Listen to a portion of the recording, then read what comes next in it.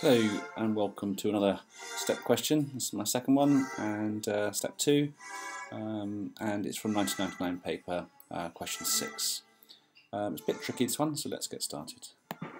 Um, so reading the first question we've got the, uh, the question find the greatest and least values of bx plus a for x values between minus 10 and 10 distinguishing carefully between the base, uh, the, the, cases b is greater than 0, b is equal to 0 and b is less than 0.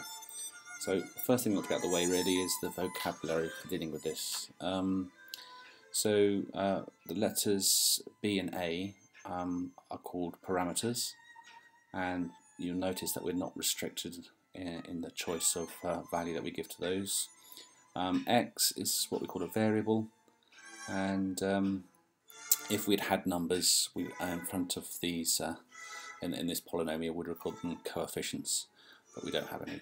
Um, so we've got parameters and variables and uh, let's get on with it. So let's deal with the first case where b is greater than 0. The value of b is greater than 0 and what I've done is I'm going to draw a picture, uh, a graph of that and doing so you can see that uh, Clearly if b is greater than 0 we must have a positive gradient and a is going to be the y-intercept isn't it? And you can see my gradient is b because it's b over 1. Um, so if I want to know the maximum value of y, the max value of y, the range, uh, that's going to, and now the domain is being limited between minus 10 and 10, then when x equals um, 10, we're going to have the maximum possible value of y, which will be 10b plus a. Whereas if um, I want the minimum value of y, then uh, the minimum value occurs when I input uh, x equals minus 10, and so the minimum value is being minus 10b plus a.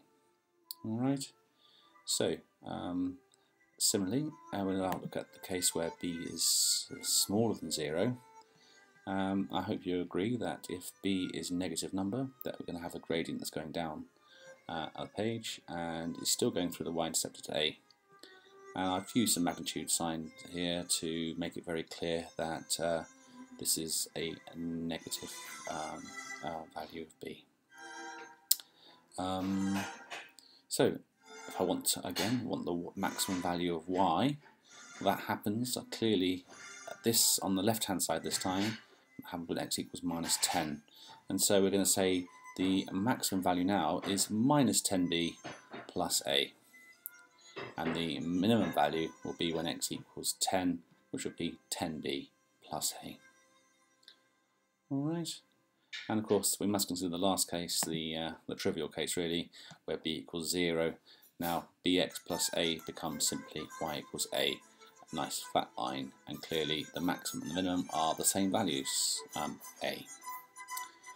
Right, uh, let's um, think out now about the, uh, second part of this question. And the second part is where um, we were asked about the polynomial uh, cx squared plus bx plus a. I hope you got a copy of the question or else you can just flip back in this video to have a quick look at it. Um, uh, so when we have uh, polynomials of this style, this is a degree 2 polynomial, otherwise known as a quadratic and you'll notice that they've told us that um, c is going to have to be greater or equal to 0. Um, so we've got really two cases to consider there, when c equals 0 and when c is greater than 0. Um, fortunately for us, the c equals 0 is a bit of a trivial case because uh, if you put c equals 0 into that um, polynomial, you, you basically get the first part. You get part 1 again, and we're not going to do that again but you must write that down for the examiner that you recognised that uh, c equals 0 is a bit of a trivial case. So let's focus on c being a, a number greater than 0 and that should also make you think that uh, well if cx squared and c is a positive number it must be a happy face quadratic. It's going to have a minimum and not a maximum. Okay that's going to be important for answering this question so let's get on to that then, shall we? So uh, I would suggest the first thing we need to do is um, if we uh, if we um, differentiate, we can find the value of when the differential, this first differential equals zero, we can find the x value of the turning point. And I've written what I did here. Um, so I've differentiated my um, my uh, function to get an out. you could write dy dx but you might come across this notation y prime or y dashed. I call it y dash myself but I've, I've heard it people call it y uh, prime. And um, you can see that uh, that's being differentiated correctly. I've now put this equal to 0 because I want to find the minimum. And if I do that the value of x where this minimum occurs must be minus b over 2c and of course if I've got a y coordinate, uh, x coordinate I can find a y coordinate because this says up here if you tell me an x I'll tell you what y is and we have an x to give this uh, equation so let's find the y coordinate. Um, so here we go. If y is equal to cx squared plus bx plus a, I can substitute out the values of x in the equation with my now the desired value of x and I end up with a y coordinate which means happily that I can now know that the minimum point on my um, graph is going to be minus b over 2c for the x coordinate and the y coordinate is going to be a minus b squared over 4c. Right, so why go to that trouble if, to find that uh, turning point if I'm not going to use it? Now, as I said at the beginning, there's no there's no restriction on our parameters. Uh, b, a, and c can they can all uh, have any value we like. So this could this could be equal to any number, um, and so we're going to have to consider um, what happens um, um around the values of our domain that we're allowed.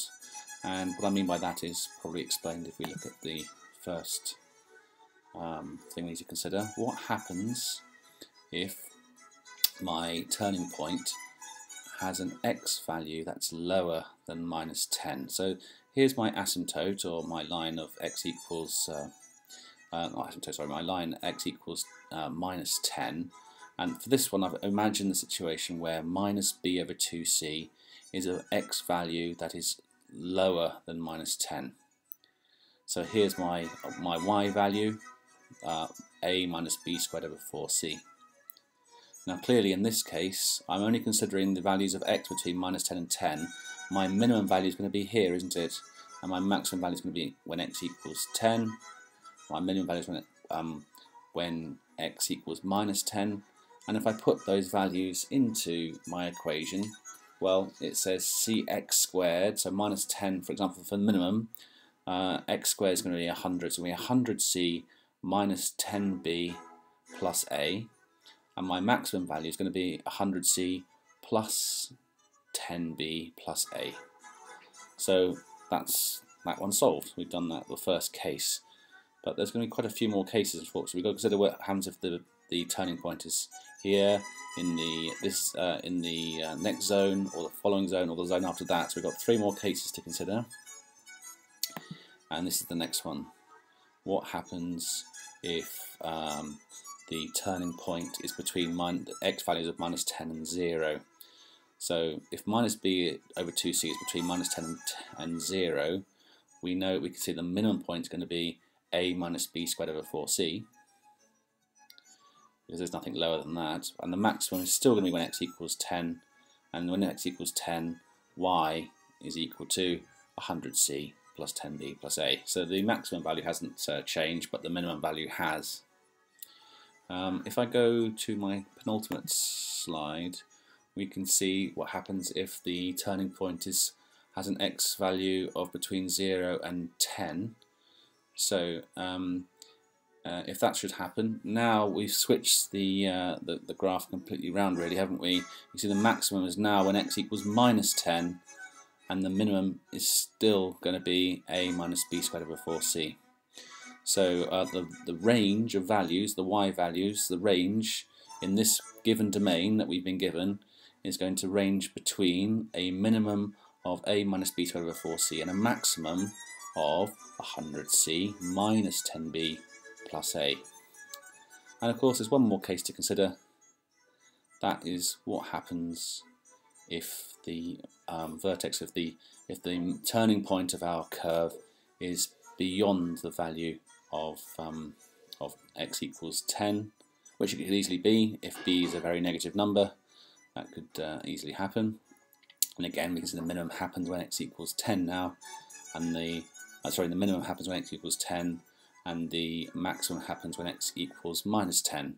And so that means that the y values, the values between the maximum and the minimum, are going to range between a minimum of, uh, when x equals 10, of 100c plus 10b plus a, that's the minimum value, and the maximum value will be 100c minus 10b plus a.